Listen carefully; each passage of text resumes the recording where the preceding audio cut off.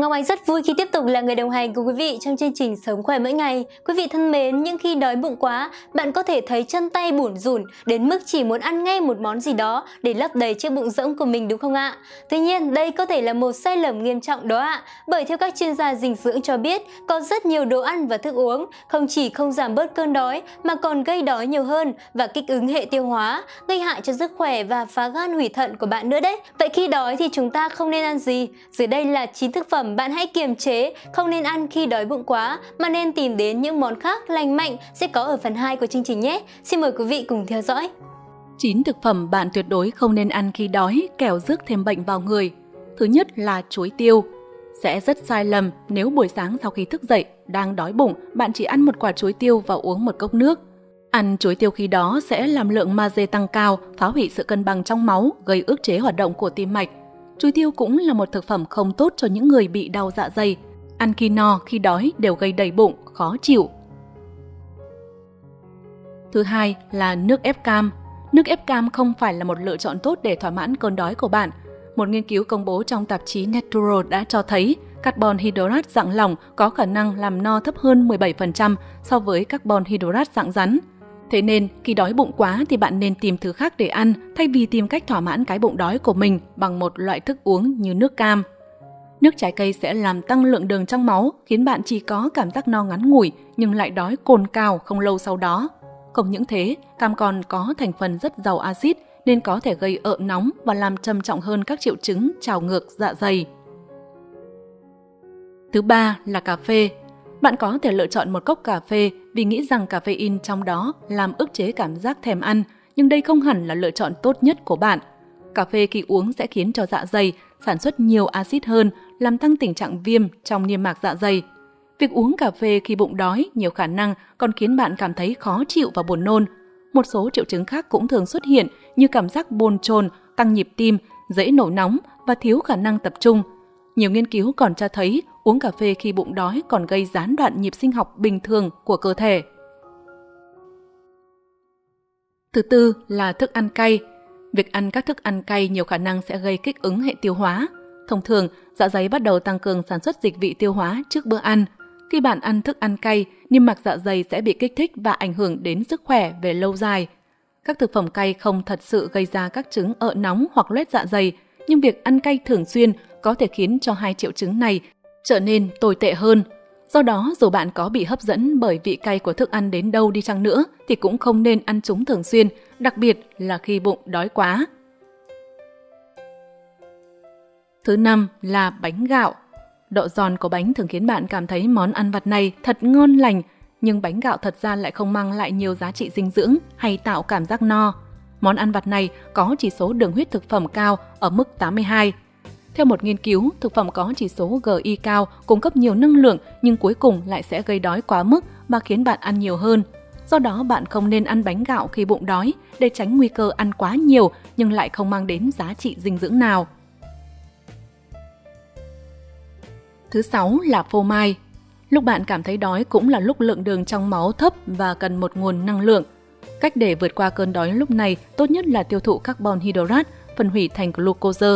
Tuy nhiên, các thực phẩm có chất xơ và protein cũng sẽ giúp bạn duy trì mức năng lượng lâu hơn. Vấn đề ở đây là phô mai không chỉ thiếu carbon hydrate cung cấp năng lượng hay giảm cảm giác đói mà còn khiến bạn đói nhiều hơn. Phô mai có nhiều hợp chất protein gọi là casomorphin có thể gây ra phản ứng gây nghiện giống như thuốc phiện. Cùng với hàm lượng muối cao, việc ăn phô mai chỉ khiến bạn càng thèm ăn nhiều hơn mà thôi. Thứ bảy là kẹo cao su. Nhiều người muốn nhai kẹo cao su để giảm cảm giác thèm ăn cho qua cơn đói. Nhưng thật ra, cách này lại chẳng mang lại hiệu quả đáng kể lắm. Động tác nhai được sử dụng để đánh lừa cơ thể rằng đang có thức ăn, khiến dạ dày chuẩn bị tiết ra dịch vị. Nhưng khi không có thức ăn đi vào, dạ dày sẽ bắt đầu co quắp và khiến bạn có cảm giác đau đớn hơn. Thứ 8 là sushi. Sushi là một trong những lựa chọn bạn nên tránh xa dù thật sự có đói bụng quá nhiều đi chăng nữa. Trong sushi có thành phần chủ yếu là cơm trắng và không có chất xơ bão hòa nên thường sẽ nhanh được tiêu hóa. Không những thế, bạn sẽ phải ăn kèm sushi với nước chấm, nhưng trong thành phần nước chấm mặn lại chứa nhiều natri. Điều này sẽ khiến bạn nhầm lẫn cảm giác đói và khát, nên lại càng đói hơn sau khi ăn. Điều đó có thể gây ảnh hưởng nghiêm trọng với sức khỏe. Bởi vậy, bạn hãy lưu ý nhé. Thứ 9 là sữa và các chế phẩm từ sữa, sữa chua, phô mai. Sữa và sữa đậu nành có chứa nhiều chất đạm, giàu vitamin, nhưng nếu bạn dùng như một món đồ ăn nhanh chống lại cơn đói thì lại phản tác dụng. Lý do là lượng protein trong sữa khi vào cơ thể của bạn sẽ bị ép thành năng lượng nhiệt để cơ thể tiêu thụ. Khi sữa vào dạ dày sẽ bị kít tủa, dễ gây rối loạn tiêu hóa. Người uống sữa lúc đói sẽ thấy bụng căng trướng, khó chịu. Như vậy, cách tốt nhất khi đói bạn nên uống sữa cùng một chút bánh mì hoặc những đồ ăn có chứa bột mì. Điều này sẽ giúp cơ thể bạn hấp thụ chất dinh dưỡng tốt nhất. Cách ăn có lợi cho sức khỏe là 2 tiếng sau bữa ăn. Ngoài ra, bạn có thể ăn trước khi đi ngủ. Với hai cách này, có thể phát huy hết tác dụng của sữa, giúp cơ thể tiêu hóa tốt lượng thức ăn bạn đã đưa vào buổi trưa và tối. Bên cạnh đó, còn có khả năng làm đẹp cho da của bạn. Quý vị thân mến, trên đây là những món ăn bạn tuyệt đối không nên ăn khi đói. Chúng sẽ khiến cơn đói của bạn ngày càng trầm trọng hơn, thậm chí còn gây ra một số vấn đề cho sức khỏe. Vậy khi đói thì chúng ta nên ăn gì nhỉ? Bạn hãy nhanh chóng bổ sung năng lượng cho cơ thể bằng những món ăn lành mạnh, giúp cơ thể phòng ngừa bệnh tật sau đây nhé. Những món ăn khi đói tốt hơn cả nhân sâm, ai cũng nên ăn hàng ngày. Xếp ở vị trí đầu tiên là yến mạch. Bạn có thường ăn yến mạch khi đói hay vào bữa sáng hay không ạ? Yến mạch là thực phẩm có chứa hàm lượng chất xơ cao, trong đó có chất xơ hòa tan, do đó nó có thể giúp làm giảm cholesterol và lượng đường trong máu. Bột yến mạch rất giàu beta-glucan, chất xơ dễ hòa tan, hỗ trợ quá trình giảm lượng cholesterol trong cơ thể. Ngoài ra, bột yến mạch còn tạo ra lớp màng bảo vệ cho dạ dày và ngăn ngừa axit phá hủy thành dạ dày. Ngoài ra, ăn yến mạch và cám yến mạch trong 6 tuần có thể sẽ giảm lượng đường trong máu trước bữa ăn, lượng đường trong máu 24 giờ và nồng độ insulin ở những người mắc bệnh đái tháo đường tuyếp 2. Ăn 50 tới 100 g yến mạch thay vì sử dụng carbon hydrate khác làm giảm lượng đường trong máu sau bữa ăn ở một số người. Trong thời gian dài mà ăn 100 g yến mạch thay thế cho các loại carbon hydrate khác sẽ có tác dụng hiệu quả lâu dài cho đường huyết. Hơn nữa, một số bằng chứng cho thấy tiêu thụ 50 g yến mạch mỗi ngày có chứa khoảng 25 g chất xơ hòa tan có thể mang lại hiệu quả cao hơn chế độ ăn chất xơ vừa phải theo tiêu chuẩn khoảng 24 gram do Hiệp hội Đái tháo đường Hoa Kỳ khuyến nghị. Đặc biệt, những người ăn yến mạch và cám yến mạch dường như có nguy cơ ung thư dạ dày thấp hơn so với những người không ăn. Thứ hai là ngũ cốc. Ngũ cốc cho bữa sáng được coi là sự lựa chọn tốt dành cho những người bận rộn. Trên thực tế, một gói ngũ cốc dinh dưỡng 100g chứa 380 calo. Ngũ cốc giúp loại bỏ các độc tố kim loại nặng ra khỏi cơ thể, giúp bình ổn các loại vi khuẩn đường ruột, mang lại cảm giác no lâu. Tốt nhất nên uống ngũ cốc với sữa tách kem và trái cây. Ngoài ra nếu bạn chọn ngũ cốc nguyên hạt, đây được coi là một cách tuyệt vời để tăng tiêu thụ chất xơ. Tiêu thụ nhiều ngũ cốc nguyên hạt giúp bạn cải thiện được sức khỏe và giảm nguy cơ tử vong do mọi nguyên nhân. Trên thực tế, trong một nghiên cứu với hơn 1 triệu người tham gia, cứ 28 gram ngũ cốc nguyên hạt tiêu thụ mỗi ngày có liên quan đến việc giảm 9% nguy cơ tử vong do mọi nguyên nhân và giảm 14% nguy cơ tử vong do đau tim.